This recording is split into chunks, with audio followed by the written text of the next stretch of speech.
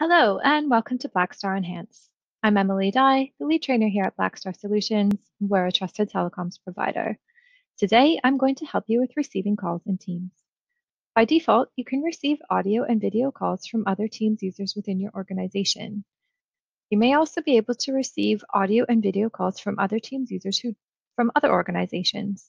And you may even be able to receive audio calls from people who don't use Teams at all. If you're not sure about your permissions, speak to your system administrator or IT team. When re you receive a call, you'll see a pop-up in the bottom right-hand corner of your screen.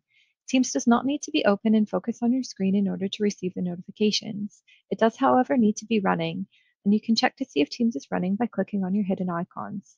If you don't see the purple Teams icon here, you'll need to open Teams from the Start menu or your desktop shortcut. So in the pop-up, you'll see the caller's name if they're a Teams user or a saved contact, otherwise you'll see their telephone number.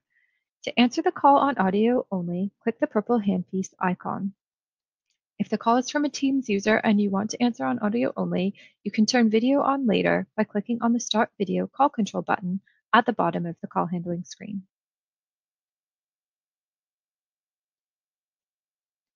If the call is from a Teams user, you can answer with video by clicking on the video icon in the pop-up. If a user is video calling you, the pop-up will tell you it's a video call. However, you can still choose to answer with audio only. You can decline audio or video calls by clicking on the red decline call icon in the pop-up. This will send the caller to voicemail where they can leave you a message.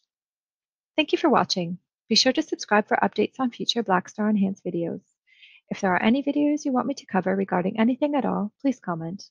Or for further assistance, you can email enhance at blackstarsolutions.co.uk. Thanks for watching, and we'll see you next time.